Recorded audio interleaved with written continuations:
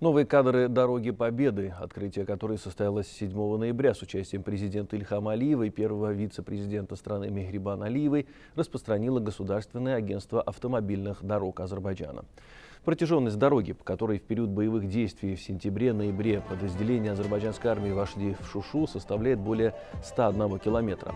Она берет свое начало от автомагистрали Гаджигабул-Миндживан-Зангизур и ведет к символу Карабаха, городу Шуша.